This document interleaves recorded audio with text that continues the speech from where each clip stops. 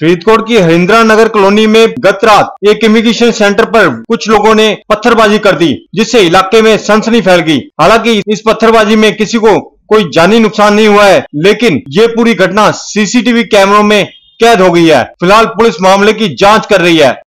ਜਿਹੜਾ ਸਾਡੇ ਕੋਲੇ ਕੰਪਲੇਂਟ ਆਈ ਸੀਗੀ ਮੇਸਪਾਲ ਦੀ ਜਿਹੜਾ ਵੀ ਮੇਰੇ ਘਰ ਦੇ ਜਿਹੜਾ ਰਾਤ ਨੂੰ ਕੋਈ ਇੱਟਾਂ ਰੋੜੇ ਮਾਰ ਕੇ ਗਿਆਗਾ ਜਿਹਦੇ ਸਬੰਧ ਵਿੱਚ ਅਸੀਂ ਜਿਹੜਾ ਮੌਕਾ ਦੇਖਿਆ ਸੀ ਮੌਕਾ ਦੇਖਣ ਤੋਂ ਬਾਅਦ ਇਹਦੀ ਇਹ ਜਿਹੜੀ ਬੰਦੀ ਕਾਰਵਾਈ ਹੈ ਜਿਹੜੀ ਨੁਕਸਾਨ ਹੋਇਆ ਸੀ ਉਹਦੀ ਰਪਟ ਅਸੀਂ ਦਰਜ ਕਰ ਦਿੱਤੀ ਸੀਗੀ